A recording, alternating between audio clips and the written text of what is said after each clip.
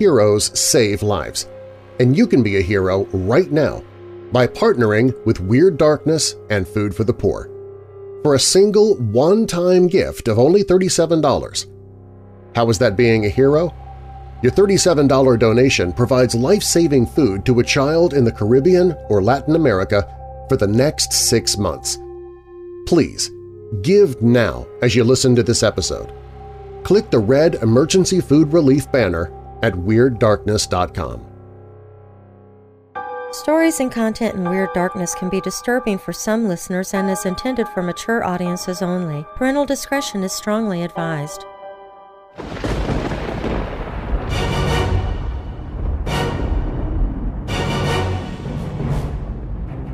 Welcome, Weirdos! I'm Darren Marlar, and this is Weird Darkness. Here you'll find stories of the paranormal, supernatural, legends, lore, crime, conspiracy, mysterious, macabre, unsolved, and unexplained. If you're new here, welcome to the podcast, and be sure to subscribe so you don't miss future episodes. If you're already a weirdo, please share the podcast with others. Doing so helps make it possible for me to keep creating episodes as often as I do. Coming up in this episode, it's Creepy Pasta Thursday. I'll be sharing three stories this week Back in the golden age of radio, there was a program similar to the Outer Limits or Twilight Zone. It was called Quiet Please, and a weirdo listener asked if I'd ever considered narrating one of the stories from that radio show. Well, the actual episodes are extremely difficult to listen to nowadays due to the poor quality of the old recordings, but I was able to find a few short stories that were adapted from episodes of the series. So tonight I'll be sharing one of those stories from Quiet Please called The Room Where the Stars Live. We'll wrap up tonight's episode with a story from the Creepypasta.com website. One of their readers, J.M. Cenammo, submitted a story that got some great ratings, so I've decided to share it with you. It's called simply The Trunk. But first, a Weirdo family member suggested a great short story by Ray Nelson called 8 O'Clock in the Morning and that might sound familiar to some of you sci-fi geeks out there, because it's actually the story that the movie They Live, starring Roddy Piper, directed by John Carpenter, is based upon, a cult favorite. And you know the original books and stories are almost always better than the movies, right? We'll begin with that story. While listening to this episode, be sure to check out the Weird Darkness website – at WeirdDarkness.com you can sign up for the newsletter to win monthly prizes, find paranormal and horror audiobooks I've narrated, watch old horror movies for free. Plus, you can visit the Hope in the Darkness page if you're struggling with depression or dark thoughts. You can find all of that and more at WeirdDarkness.com. Well, I'm here to tell stories and chew bubblegum. And I'm all out of bubblegum. So bolt your doors, lock your windows, turn off your lights, and come with me into the weird darkness.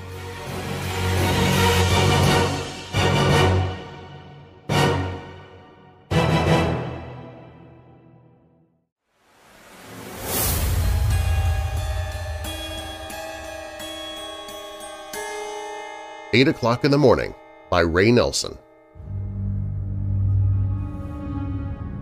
At the end of the show, the hypnotist told his subjects, awake, and something unusual happened. One of the subjects awoke, all the way. This had never happened before.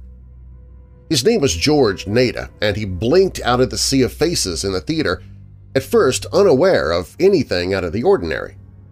Then he noticed, spotted here and there in the crowd, the non-human faces – the faces of the fascinators. They had been there all along, of course, but only George was really awake, so only George recognized them for what they were. He understood everything in a flash, including the fact that if he were to give any outward sign, the fascinators would instantly command him to return to his former state, and he would obey. He left the theater, pushing out into the neon night carefully avoiding any indication that he saw the green, reptilian flesh or the multiple yellow eyes of the rulers of the earth. One of them asked him, Got a light, buddy? George gave him a light, then moved on. At intervals along the street, George saw the posters hanging with photographs of the Fascinator's multiple eyes and various commands printed under them such as Work eight hours, play eight hours, slept hours, and marry and produce. A TV set in the window of a store caught George's eye, but he looked away in the nick of time. When he didn't look at the fascinator in the screen, he could resist the command. Stay tuned to this station. George lived alone in a sleeping room, and as he got home the first thing he did was to disconnect the TV set. In other rooms he could hear the TV sets of his neighbors, though. Most of the time the voices were human, but now and then he heard the arrogant, strangely bird-like croaks of the aliens. Obey the government, said one croak. We are the government, said another. We are your friends. You'd do anything for a friend, wouldn't you? Obey. Work. Suddenly the phone rang. George picked it up. It was one of the fascinators. Hello? It squawked. This is your control, Chief of Police Robinson. You are an old man, George Nada. Tomorrow morning, at 8 o'clock, your heart will stop. Please repeat. I am an old man, said George. Tomorrow morning, at 8 o'clock, my heart will stop. The control hung up. No, it won't, whispered George. He wondered why they wanted him dead. Did they suspect that he was awake? Probably. Someone might have spotted him, noticed that he didn't respond the way the others did. If George were alive at one minute after eight tomorrow morning, then they'd be sure. No use waiting here for the end, he thought. He went out again. The posters, the TV, the occasional commands from passing aliens did not seem to have absolute power over him, though he still felt strongly tempted to obey, to see things the way his master wanted him to see them. He passed an alley and stopped. One of the aliens was alone there, leaning against the wall. George walked up to him. Move on, grunted the thing, focusing his deadly eyes on George. George felt his grasp on awareness waver. For a moment, the reptilian head dissolved into the face of a lovable old drunk. Of course, the drunk would be lovable. George picked up a brick and smashed it down on the old drunk's head with all his strength. For a moment, the image blurred, then the blue-green blood oozed out of the face, and the lizard fell, twitching and writhing. After a moment, it was dead. George dragged the body into the shadows and searched it. There was a tiny radio in its pocket and a curiously shaped knife and fork in another. The tiny radio said something in an incomprehensible language. George put it down beside the body, but kept the eating utensils. I can't possibly escape, thought George. Why fight them? But maybe… maybe he could. What if he could awaken others? That might be worth a try. He walked 12 blocks to the apartment of his girlfriend, Lil, and knocked on her door. She came to the door in her bathrobe. I want you to wake up, he said. I'm awake, she said. Come on in. He went in. The TV was playing. He turned it off. No, he said. I mean, really wake up. She looked at him without comprehension, so he snapped his fingers and shouted, Wake up! The Masters command that you wake up! Are you off your rocker, George? she asked suspiciously. You sure are acting funny. He slapped her face. Cut that out! she cried. What the hell are you up to anyway? Nothing, said George, defeated. I was just kidding around. Slapping my face wasn't just kidding around, she cried. There was a knock at the door. George opened it. It was one of the aliens. Can't you keep the noise down to a dull roar? It said.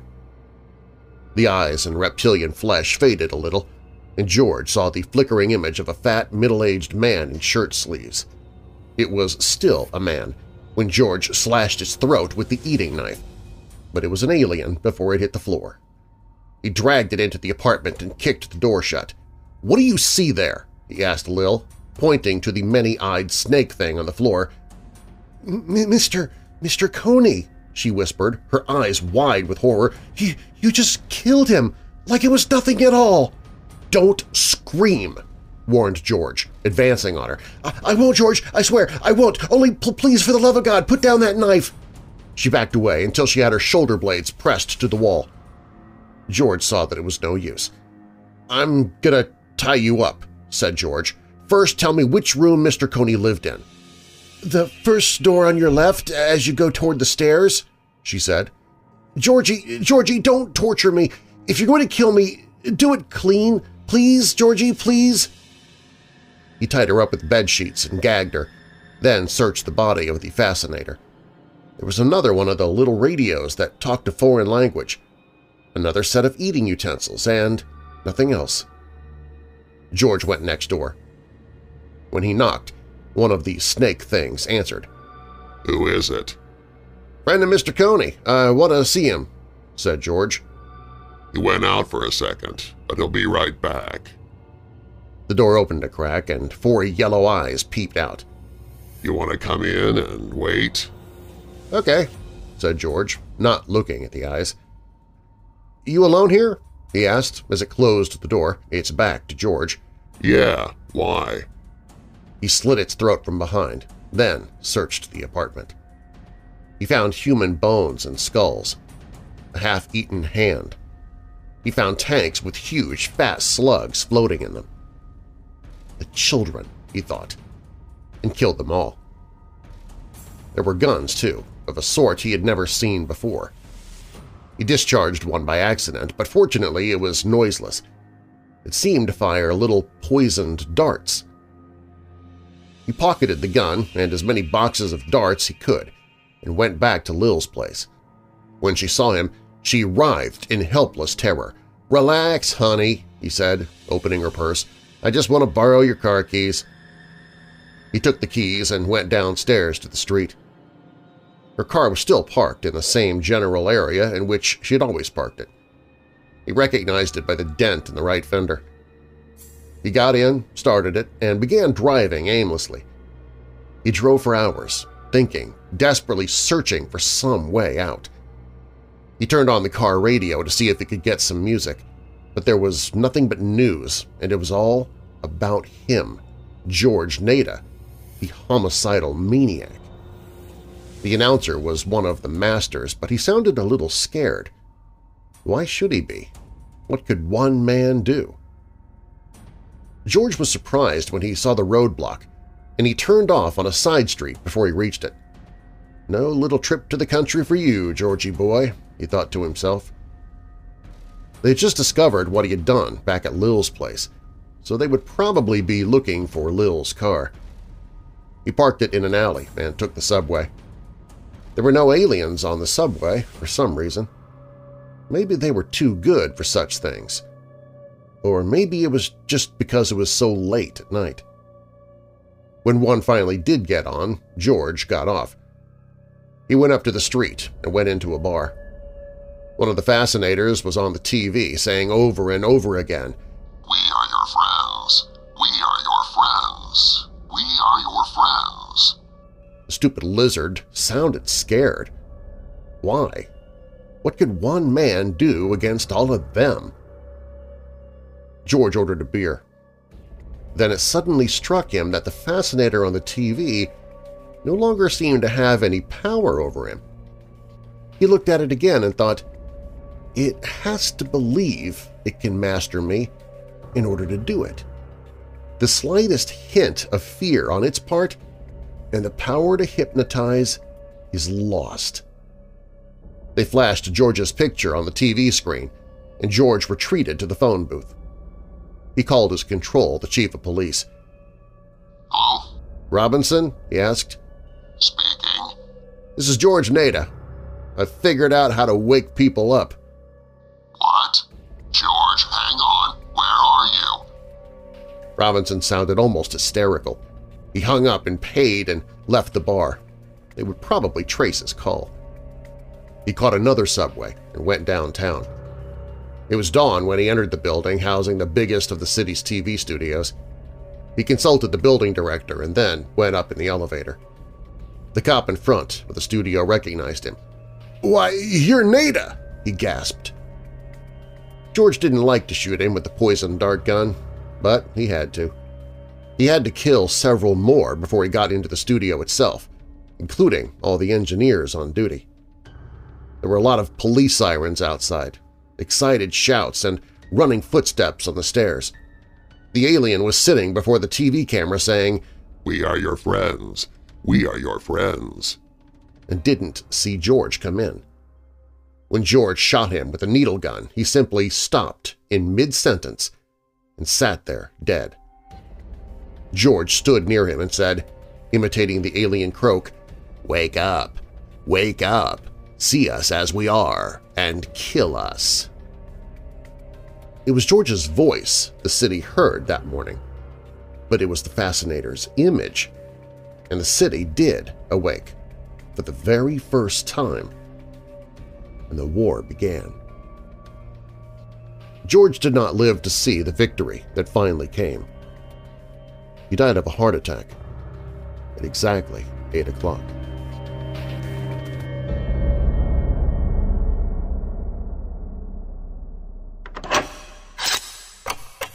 Creepypasta Thursday continues on Weird Darkness with a story adapted from the old radio show Quiet Please, coming up next.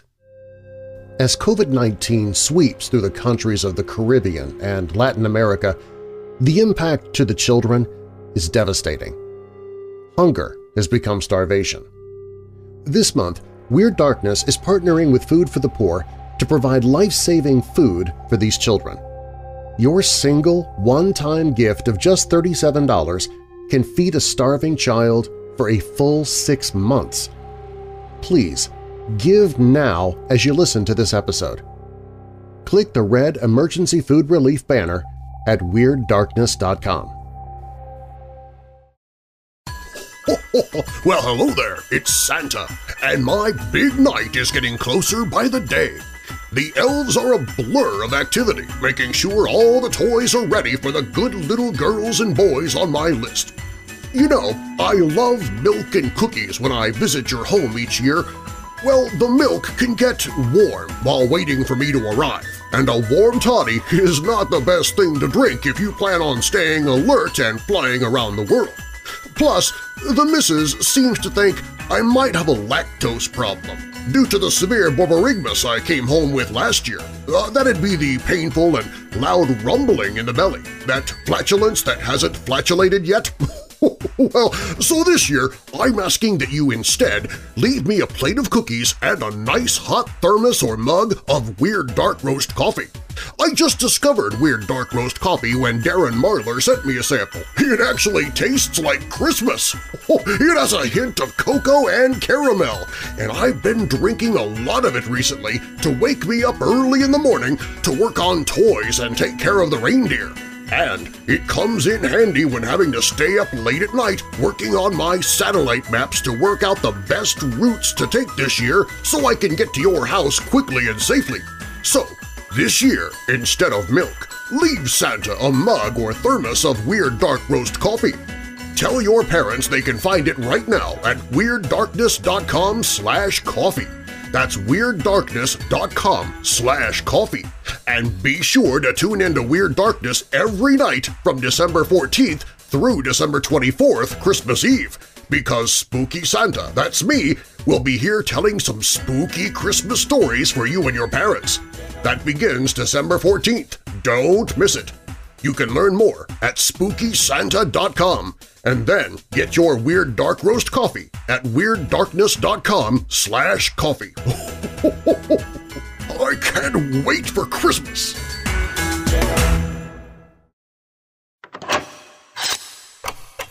The Room Where the Stars Live by Quiet Please. Do you remember the little house on the edge of Mount Wilson? The house that had nothing inside it? You remember the astronomer, Van Dyke? Do you remember the music, the message to the other side of the stars? We thought it was all over. aliens were going to land on Earth. They were going to absorb the people of the Earth as they'd absorbed Dorothy, and that would be that. It'd be like a neat little science fiction story, cautionary tale to the next species that might think itself master of the Earth. That was 68 years ago. Nothing happened, at least we thought nothing happened. Now, now I know better.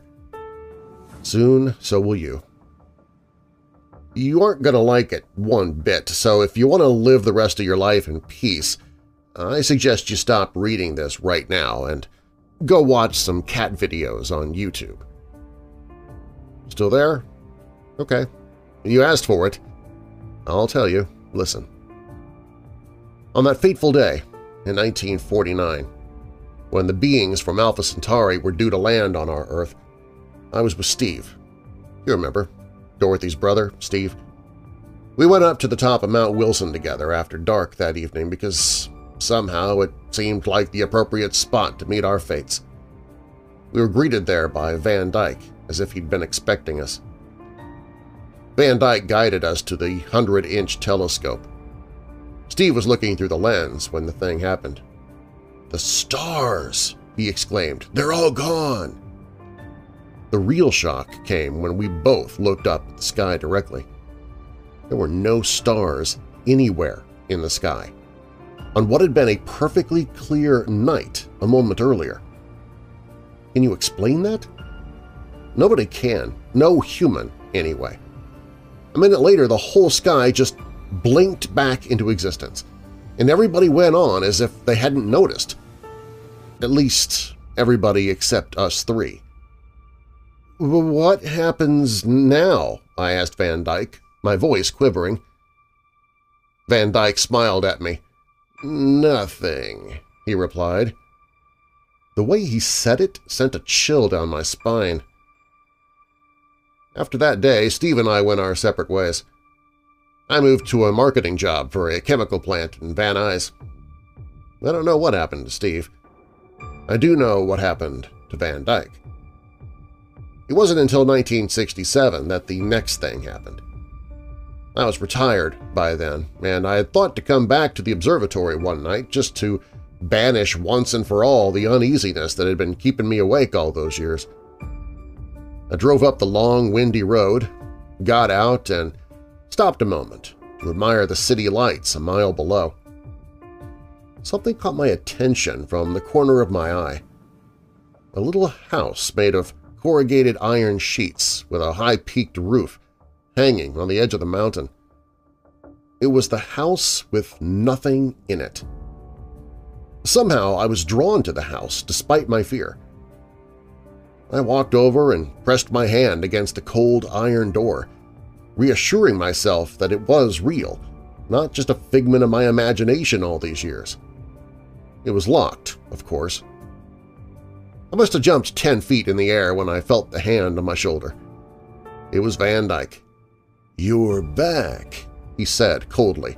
"'You—' I stammered. You're, you're still here after all these years!' Thought I must be dead by now? I can assure you I'm not. He just stared at me for a few moments with a sort of knowing look in his eye, not taking his hand off my shoulder. You want to see inside? I'll show you. Van Dyke fished a key out of one of his pockets, deposited it in the rusty old lock, and the door swung silently open. It was nothing. The absence of everything, no sight or sound or smell. It made my hair stand on end. Go on in, the old astronomer motioned to me. Go on in. I don't want to, I objected. I only wanted to get away from that place as fast as I could, yet I stood still as if entranced. "'Go on in,' Van Dyke commanded, and with that he gave me a shove that I wouldn't have thought possible for a man his age. I fell forward, and then suddenly there was no forward or backward anymore, just nothing all around. Even my own body seemed to have disappeared. I I remember trying desperately to flail about in my panic, but There was nothing to flail with or in. A while later, it's hard to say how long since time starts to lose meaning here, I began to hear a faint music. At once I recognized it as the music from the other side of the stars, the music Dorothy first heard at the bottom of the old well with the Spanish soldier. Slowly, the music grew until it enveloped me. And finally, I, I, felt it emanating from my own mind and felt myself slip away until there was nothing but the music. That's right. I was absorbed. No, I didn't disappear into a little gray-green ball like Dorothy had. They're just as capable of inhabiting our bodies as they are of absorbing our bodies into theirs, and apparently they've found my body convenient for some purpose. No, I'm not an alien now. I was one for nearly 50 years, but I'm not now. They can grow old and die, you see. They usually live a thousand years or more, but I got lucky. The one who absorbed me died last year. When the music finally faded out after all those years, I was able to reassert myself. It was like time travel for me. One moment I was in 1967. The next moment I woke up in 2016. I look perhaps five years older than I did in 67. Seems our bodies age much slower while absorbed. It's taken me some time to piece things together, to work out some of what I, or rather the alien in my body, was doing all those years. The clues led me right back to Mount Wilson. I've worked out they've been building something there all these years, something from nothing behind the door of the odd old building. Finally, last night I got it in my head to figure this thing out once and for all.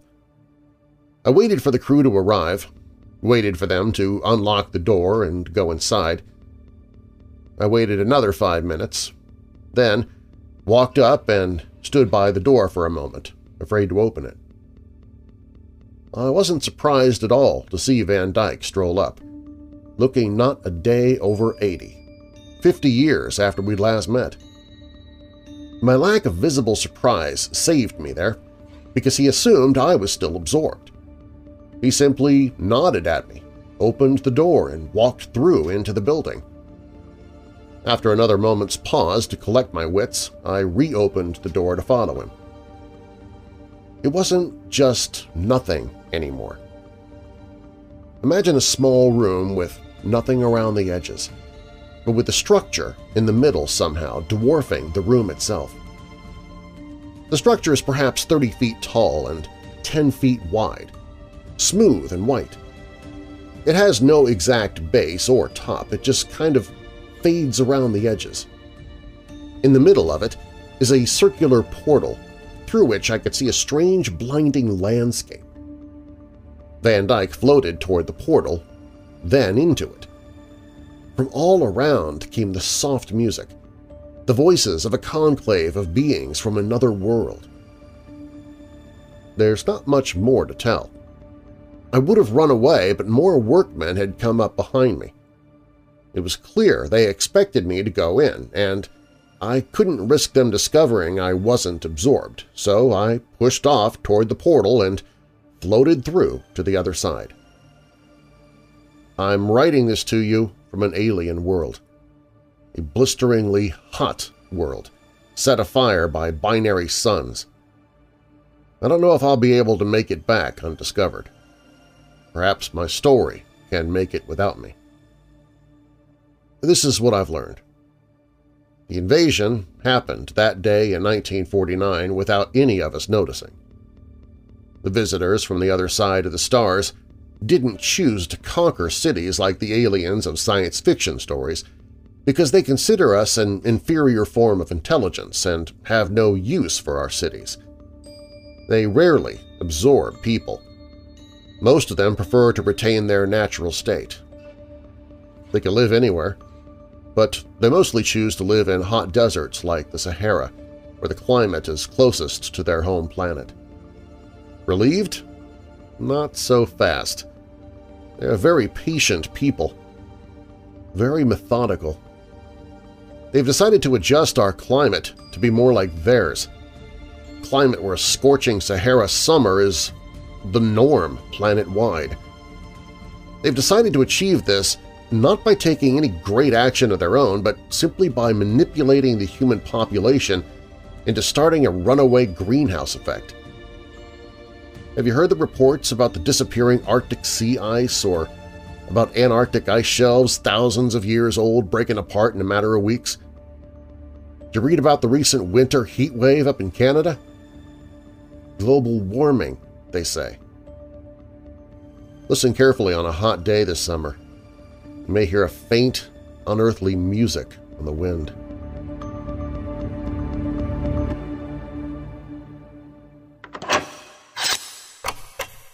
I have one more story to share on this Creepypasta Thursday. Up next is a tale written by J.M. Cenammo called The Trunk – When Weird Darkness Returns. Because of COVID-19, markets are closed. Businesses are shuttered. Such unprecedented circumstances demand an extraordinary response. This month, Weird Darkness is partnering with Food for the Poor to provide emergency food relief to children who are literally starving in the Caribbean and Latin America. Your single one-time gift of just $37 will feed a child for the next six months. You can rescue these vulnerable lives today with your donation of any amount. Please give now while you're listening to this episode. Click the red Emergency Food Relief banner at WeirdDarkness.com. We've come back around to the time of year where you have to go looking for a new calendar for 2021.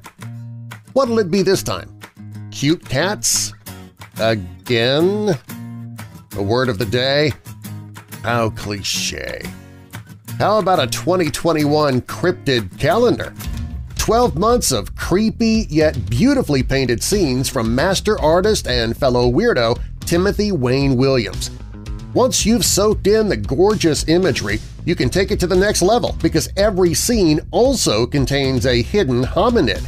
And you know Bigfoot is the hide-and-seek champion. I've seen many of the original paintings used in this calendar, and I've only found Bigfoot about half the time, but he is there, somewhere. And with the 2021 cryptid calendar, you'll have a whole month at a time to look for him. And if you give up looking, you can even email the artist personally and he'll point out our hairy friend for you. Get it now before orders get overwhelming. The 2021 Cryptid Calendar. You'll find a link to it at WeirdDarkness.com.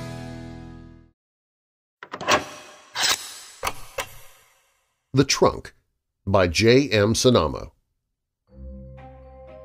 Moving Day A chance to start fresh in a new place. New opportunities. New community. New home.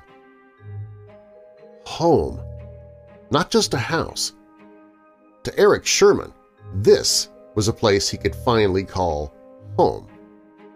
No ex-wives to hound him for alimony no disapproving parents to question his absence of faith and atheist lifestyle. No bitchy neighbors threatening to call the authorities about his over-the-top Halloween displays. No, this house was different. For one, it was in a more rural and secluded county. There was no HOA to worry about. His nearest neighbor was almost half a mile away.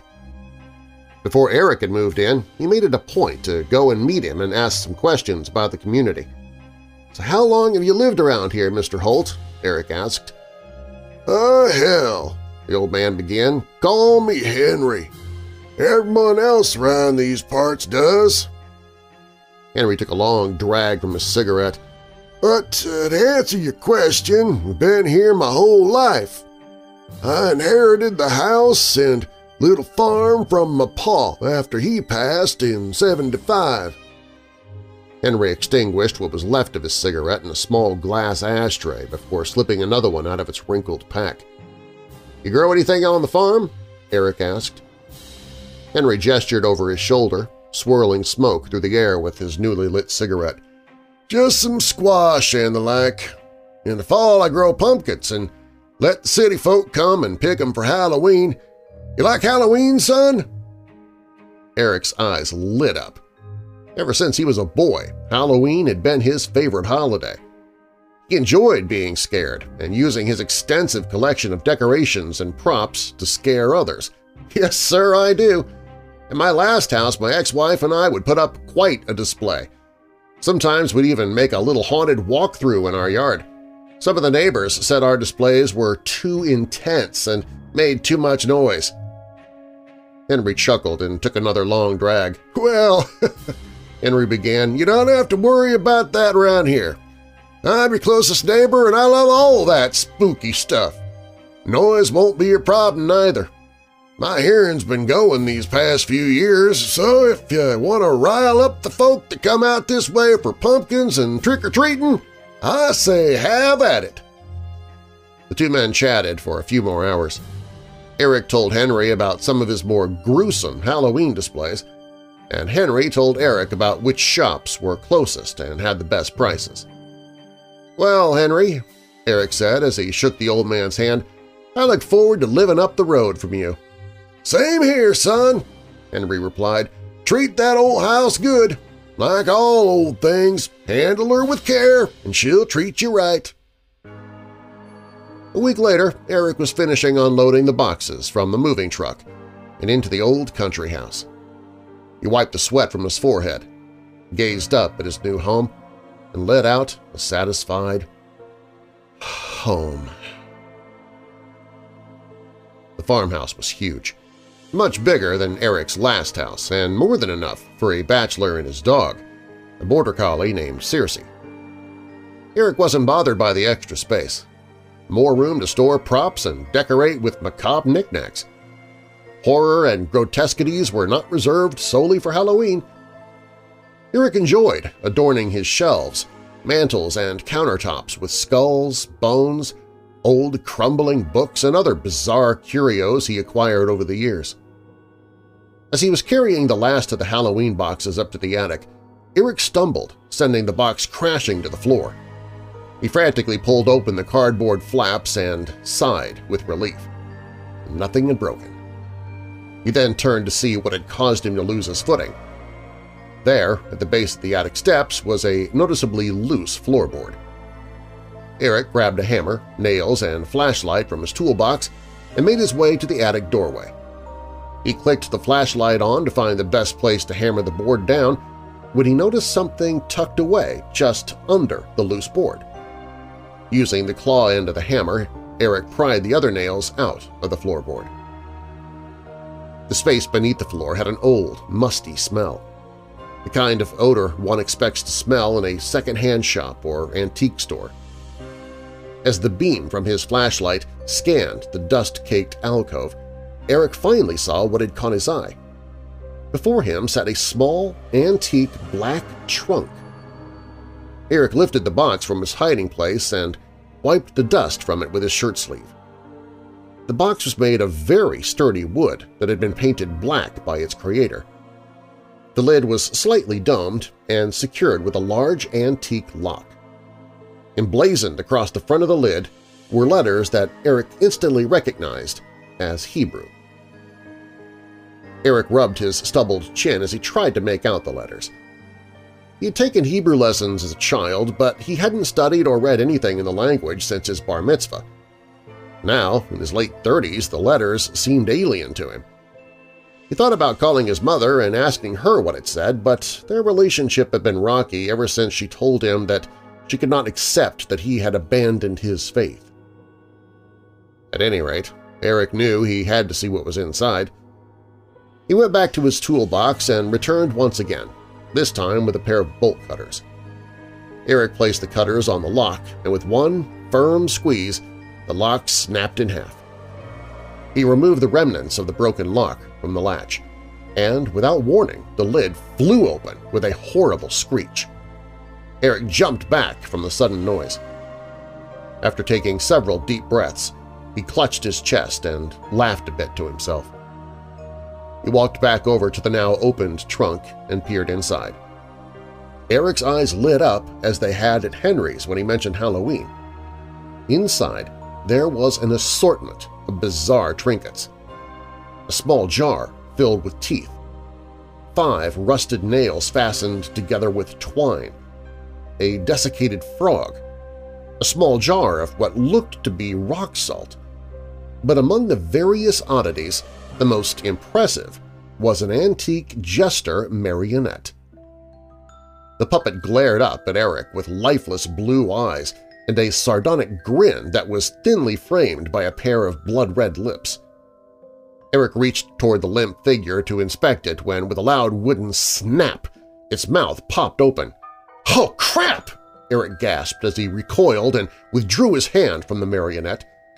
His heart began racing and the sound of pumping blood filled his ears. From the downstairs living room, Circe had begun to bark. "'It's all right, girl!' Eric shouted. "'Daddy was just being a wuss!' As courage crept its way back into Eric's body, he noticed a small piece of paper in the puppet's mouth. He slipped the paper out of the doll's open maw and found the same Hebrew lettering on it. Huh, must be your name, Eric wondered aloud. With that, he placed everything back in the trunk and decided he would ask Henry if he knew anything about it tomorrow morning. Eric sat on Henry's porch as the blazing autumn sun beat down on them. Though it was still early in the morning, the temperature had already reached an uncomfortable 91 degrees. This heat and the accompanying humidity were not uncommon for the area, but it was more than Eric was used to. Sweat drops had already formed on Eric's forehead, and his clothes began to cling to his body with sweat. A mysterious trunk sat on the small patio table in between the two men. Any idea what it could be? Eric asked Henry as the two studied the box and its contents. Looks like a lot of weird stuff, Henry replied. Hell, son, thought you was into all that spooky stuff. Eric chuckled. Henry had a good point. This was the exact type of thing Eric would go out of his way to find at antique stores and estate sales. Eric was about to reply when Henry gestured to the inscription on the trunk. "'Ain't those them uh, Jewish letters?' Henry asked. Eric nodded as he took a sip of water from his bottle. "'Yeah,' Eric replied. "'Hebrew. Was the previous owner Jewish?' Henry let out a deep sigh and shook his head solemnly. Now, my pa and I uh, always had our suspicions about Kurtz, Henry began. The old feller that lived in that house before you, mean old bastard. Thick German accent. Bought the place you was living in around 1950. Pa always said to keep away from him. Told me only good Nazi is a dead Nazi. That old bastard must have stole this off of some uh, poor Jewish fella thinking it'd be valuable someday. Eric looked at Henry with a steady gaze. Swallowed the lump that had built up in his throat. My family is Jewish, Henry. They, uh, they escaped the Nazis in Poland and fled to America when the war was over. Henry placed a hand on Eric's shoulder and gave a reassuring smile. Son, I know it might seem strange living in that place knowing what you know now, replied Henry, but maybe this is restitution of sorts. That old prick is dead and buried. Now you live in his house, and you've reclaimed something that belonged to your kin. Yes, sir. This is just your people reclaiming what is rightfully theirs. Eric forced a smile and looked down at the box. The puppet met his gaze with its own cruel smile. Eric turned back to Henry. But why wouldn't the realtor have said something about this? Henry let out a laugh. Boy, even if they knew the old fool's history, do you really think that'd be something they'd advertise? Henry replied. Eric knew he was right. No sane person would stop on a real estate listing that read, Rural Farmhouse, Country Living, Former Fascist Occupant. Eric thanked Henry for his time, gathered up the trunk and its inhabitants, and started to walk down the dirt road that led to his house. Henry called after Eric, "'What you gonna do with that creepy puppet?' Eric turned and replied, "'Well, Halloween's in a couple weeks. I think he'll look pretty good on my mantle. Before long, Eric had started putting up his Halloween display. He'd spent years purchasing and collecting the most grotesque and gory pieces he could find. His once scenic front yard was now an abattoir littered with limbs and heads, festooned with intestines and manned by blood-soaked animatronic clowns.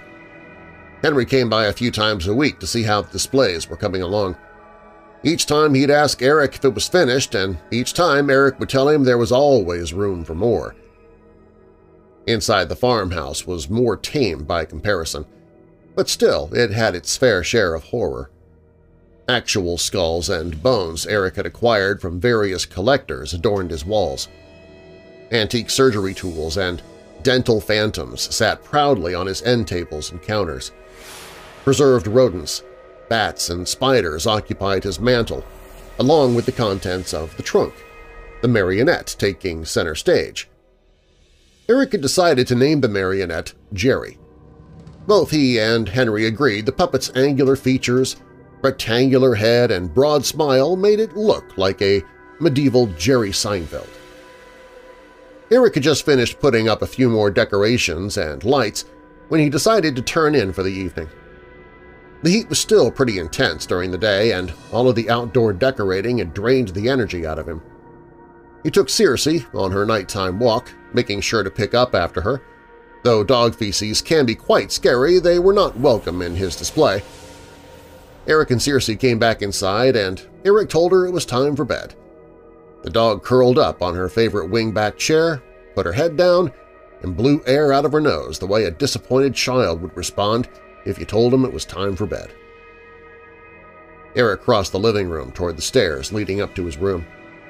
As he reached for the light switch, he turned toward his dog. "'Good night, Circe. You are such a good girl today.' Circe did not get up or even open her eyes, but her tail began to wag energetically to show him she understood. Eric then turned toward the mantel. "'Good night, Jerry. Keep an eye on the other decorations for me, will you?' As if in response, Jerry's mouth snapped open with that distinct wooden click sound. Circe began to whimper and growl in her sleep as the hair on her scruff bristled. Eric felt all the little hairs stand up on the back of his neck as he stared at the puppet in shocked disbelief. Calm down, he thought to himself, it's just an old doll. He made his way cautiously over to the mantel, his eyes locked in a staring contest with Jerry's. Eric reached out with a trembling hand to close the puppet's mouth, expecting the thing to spring to life at any minute. He placed a finger on Jerry's chin and slowly pushed its mouth closed. Eric sighed with relief and made his way back to the light switch, never taking his eyes off of Jerry. I'll find some wood glue in the morning and Take care of that jaw problem you got there, Jerry, Eric joked. Maybe even give you a fresh coat of paint. With that, Eric turned out the lights and went to his room to have one of the most troubling sleeps of his adult life. That night Eric could not sleep. His dreams were a labyrinth of nightmares that he struggled to escape. Images of Jerry and his terrible grin haunted Eric's every wakeless second, forcing him to jolt awake and scan the room for the demonic doll. Every creak, every tap, every subtle noise caused Eric to spring awake. It was getting to the point where he wasn't sure if it was better to just stay awake and try to take a nap in the morning. At around 6 a.m., a new noise had shocked Eric from his bed. Downstairs, he could hear the distinct sounds of Circe barking and snarling. Eric felt a knot form in his stomach, Maybe it's just a rat, Eric hoped as he climbed out of bed. The dog's barking grew louder and more fierce. Eric knew he had to go downstairs and investigate, but fear slowed his movements to a glacial pace. The stairs from the second floor creaked with unease as he crept downstairs to see what Circe was barking at. Eric peered through the living room doorway. However, what he saw was more annoying than startling. His mantle display had been knocked down and strewn about the floor. Broken display boxes and animal specimens littered the area rug that was below the mantel and in front of the fireplace. The one startling aspect of the scene was that Jerry did not fall all the way to the ground. His marionette controls and strings had snagged the edge of the mantle, causing the puppet to hang and sway like a corpse on a noose. Jerry's mouth hung open as Circe barked and snarled at him. "'Circe!' Eric yelled. "'What did you do?' Despite Eric's accusations, the dog continued to bark and lunge at the dangling puppet. Eric grabbed Circe's collar and dragged her toward the kitchen. He told Circe to sit and stay, shutting the door behind him as he returned to the mess she had left. Eric got a broom and began to sweep the broken glass from the rug. From the look of things, he would not be able to save any of the pieces. Once he was sure he had cleaned up all the glass, Eric untangled the marionette string and sat Jerry back on the mantel. "'I guess Circe thinks you're creepy too,' Eric said aloud to the doll. As he turned to let Circe out of the kitchen, Eric felt a sharp pain in the bottom of his foot. Ow! Eric screamed as he grabbed his foot to see what he had stepped on. A small piece of glass protruded from his heel, glistening in the light as a tiny red stream of blood began to trickle from the wound. Eric hobbled over to the couch and examined his injury. He pushed on the skin around the glass to force it to the surface. He plucked the shard from his foot as blood began to stream faster from the puncture. Eric hopped over to the bathroom, cleaned his wound, and covered it with a bandage. Upon returning to the living room, Eric found Jerry slumped over and lying on his side. Eric limped over to the mantel, not wanting to put pressure on his foot. As he reached for the puppet, Jerry's mouth snapped open again. Eric quickly recoiled his hand. Before he had time to register this new fear, he was startled again by a loud bang at his front door. Eric cried out in surprise. "'Eric! You in there?' Henry's familiar voice called from the front door. Still slightly panicked, Eric hobbled over to the front foyer and answered the door. Eric smiled a weak smile at Henry. "'Hey, Henry,' Eric said. "'How's it going?' Henry looked Eric up and down. He could tell things were out of the ordinary. "'I was just going for my morning stroll and decided to see how the display was coming along,' Henry replied. "'But from the look of things, you've had quite the morning.' Eric nodded and explained to Henry what had transpired since the dog had made the mess. Henry shook his head. "'Guess that dog of yours hasn't taken a shine to old Jerry yet, huh? Well, at any rate, I just wanted to say your yard decorations are getting pretty sick, even for my taste.' Eric gave Henry a quizzical look. Henry, I haven't added anything to the outside display. Henry looked confused, and the two stepped outside onto the front porch. Dangling from the trees were dozens of dead mice and birds, swaying lazily in the light breeze. Eric swallowed hard. He was suddenly aware the strings that were wrapped around each animal were identical to the ones that were on Jerry. Uh, Henry? Eric stammered. I didn't hang these. Henry gave Eric a stern look. "'Listen, boy,' Henry started.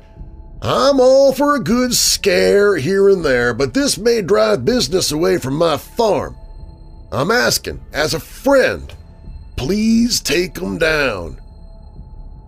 Eric, not looking down from the ghoulish menagerie, nodded silently. Henry patted him on the shoulder.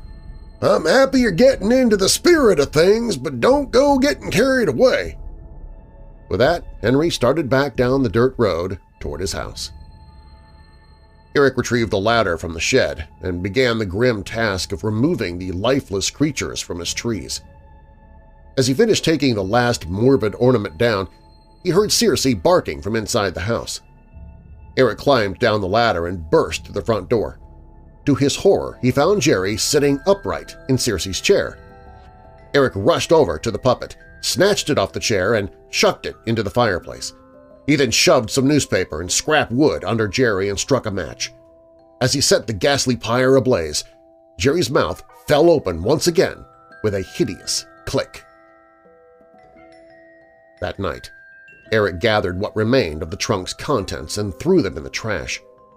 He snapped a picture of the box with his phone and, begrudgingly, sent it in an email to his mother. He hated contacting her after their falling out, but she knew how to read Hebrew. As he hit send, he glanced over at the fireplace. The fire continued to blaze, but all remnants of Jerry had become smoldering ash. Eric had just walked into the kitchen to get a glass of water when he felt his phone buzzing in his pocket. He pulled the phone out of his pocket. The caller ID simply read, Mom. He took a deep breath and answered. Hey, Ma. Hello, Eric, she responded. I just got your email. What exactly am I looking at? Eric did not want to tell her all that had happened since he found the trunk. It's this really old box that was left by the previous owner. I can't make out what the Hebrew says on the lid. Eric heard his mother sigh. You don't, you don't even remember enough Hebrew to read a short word like that, his mother scolded.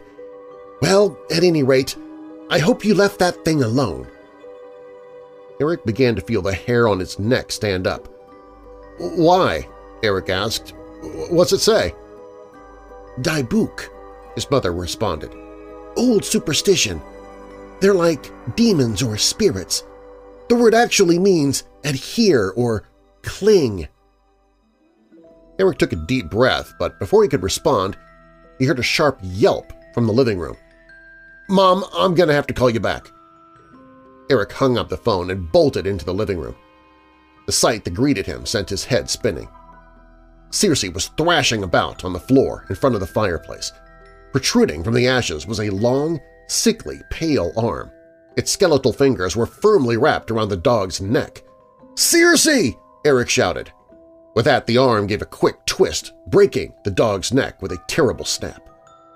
The arm raised Circe's lifeless form into the air.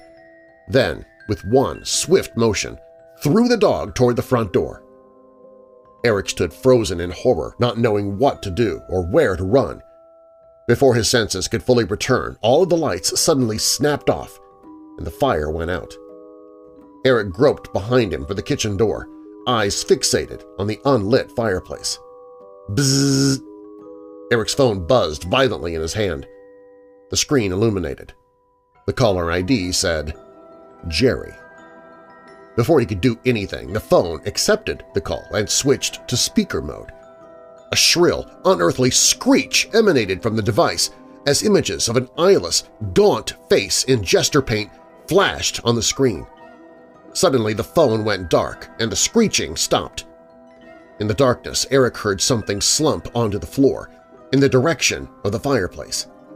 As he turned to run into the kitchen, he heard the sickening thumping of the creature crawling toward him. Henry stood in Eric's yard. An old cigarette clung to his lips. He shook his head. Mr. Holt, I'll ask you one more time. What were you doing in the deceased's yard so early in the morning? Henry took a long drag from his cigarette. I told you, officer. Me and him had become very close. We was fixing to be partners round Halloween time. He'd spook the young'uns and city folks, and I'd sell 'em pumpkins. Poor kid. I knew he was in a bad place. Told me about his wife leaving him. Told me about not being on good terms with his folks. Uh, I, I knew something was off, but never guessed he'd do something like this. The two men turned around to re-examine the horror of which they spoke. In a tree, high above the Halloween grotesquities, hung Circe a coarse rope pulled tight around her neck. Hanging beside her swung Eric, face made up to resemble the marionette sitting upon the branch, suspending them.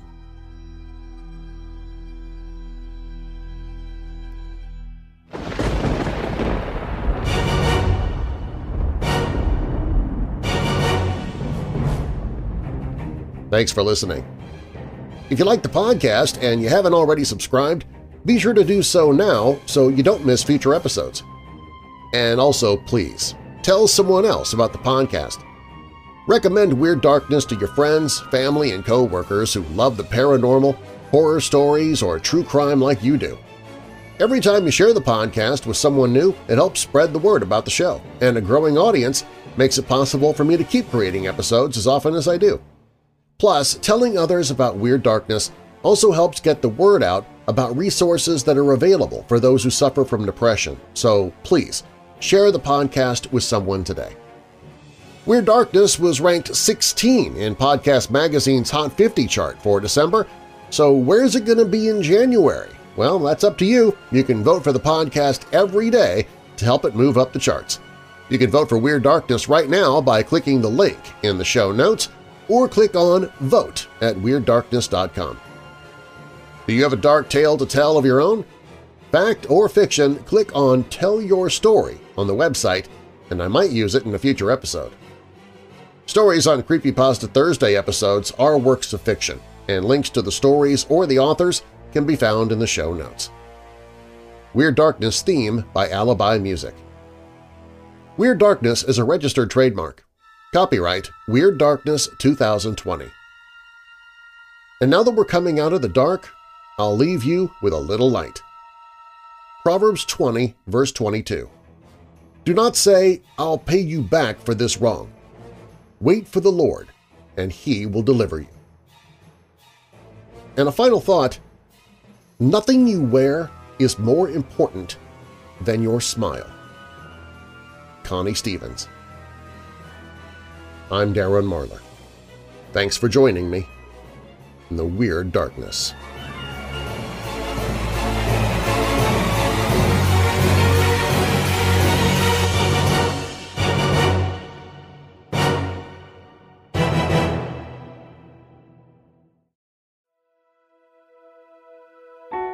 Last May and June, I spent several weeks giving you, my weirdo family, the opportunity to join me and save the lives of children who were starving in Haiti and Guatemala.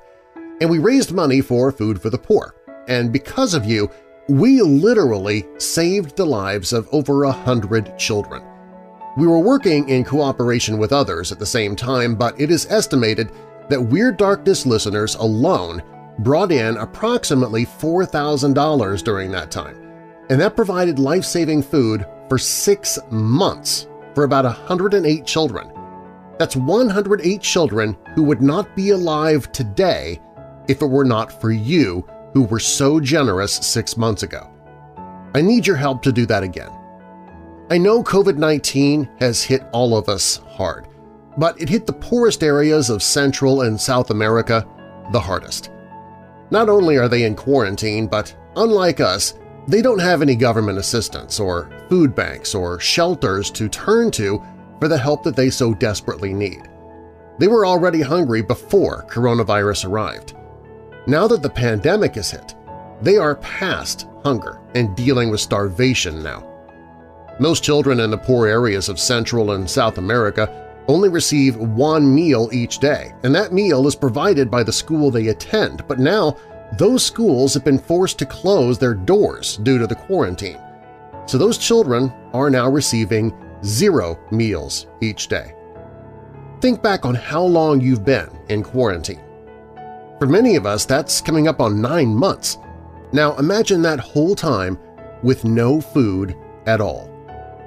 That's why I'm asking you to partner with me, with Weird Darkness and Food for the Poor, to literally save the lives of these children and families. This isn't hunger that we're alleviating, it's starvation. But the good news is that you can save the life of one of those children or family members with a single, one-time tax-deductible donation of just $37. That's all, just $37, given one single time. That single gift will feed a child for a full six months. If you can do more, $74 will feed two children for six months. How many are in your family? Could you give $37 on behalf of each of your own family members? If you're a family of five, that would be a single one-time gift of only $185, but that brings emergency food relief to a whole family for a full six months. Maybe you're feeling led to take it a step further and make a monthly pledge of $10. It sounds small, and some people might never even miss $10 being deducted from their checking account or their debit card each month. But that adds up to $120 over a year, which provides life-saving food to three children. You're saving the lives of three human beings for that $10 per month, or make it a gift of $111 to do the same. Honestly, any amount you choose to donate as a one-time gift or a monthly pledge, whatever works best for you, is going to make an enormous impact on the family that receives it. So please, give now as you're listening to this episode. Click the Emergency Food Relief banner at WeirdDarkness.com. Or if you'd rather donate by phone, the number is 855-901-4673. That's 855-901-4673. Or click the Emergency Food Relief banner at WeirdDarkness.com.